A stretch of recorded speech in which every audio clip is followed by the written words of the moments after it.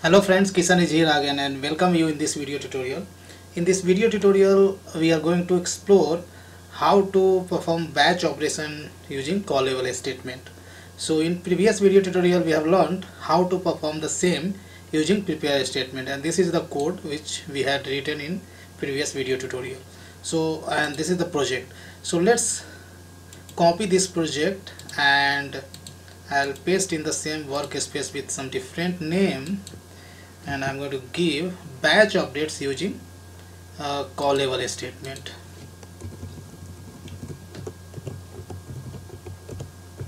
Callable statement. Let's click on OK. So now uh, I have created sorry. Let me close previous work uh, previous project. And this is the project we have copied from our previous tutorial previous video. So here this is a utility program. Uh, utility class which uh, I'm using to take connection from the database by calling get connection method. It returns the connection which gets created in the static block right? And whatever constants I want I'm using in this static block those all constants or those all database information I have declared on the top of the class itself. So it's pretty straightforward class now in client program uh, in earlier video tutorial we have performed batch operation using prepare statement. So we have created one dynamic SQL query with placeholder and we are preparing a batch and adding batch in prepare statement. So we did three times and finally we have called execute uh, batch method and all batch has been sent in the in the single uh, single sort to the database right? And that got executed. So this is pretty straightforward which we have learned in previous video tutorial. But uh, uh, this batch updates we have done using prepare statement. Now I want to use callable statement right? So what I'll do here uh, same I want to perform using callable statements.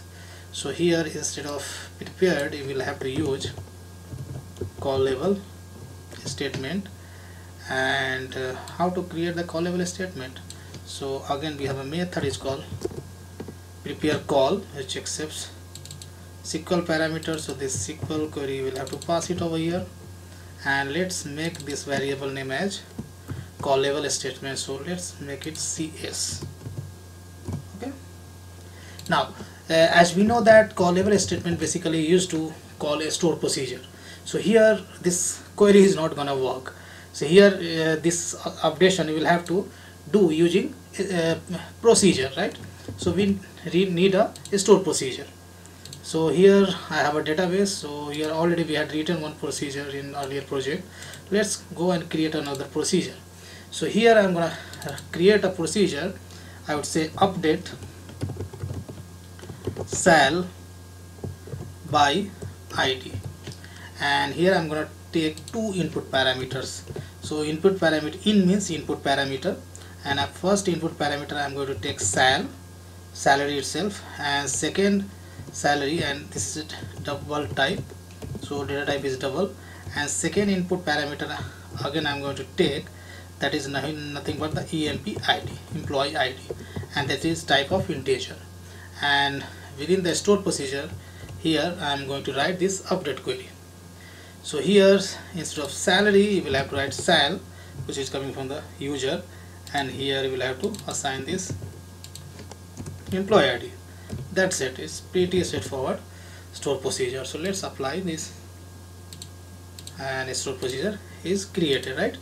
Now we can make use of this store procedure to perform batch update. So here I'm going to call this store procedure by passing uh, to placeholder right? And this placeholder must be substituted with the actual value. Now rest of the code would be same. So here I am setting first parameter represents the salary in a store procedure right? So we are setting salary 70,000 for employee whose ID is 1 so let's go to the database and check it out.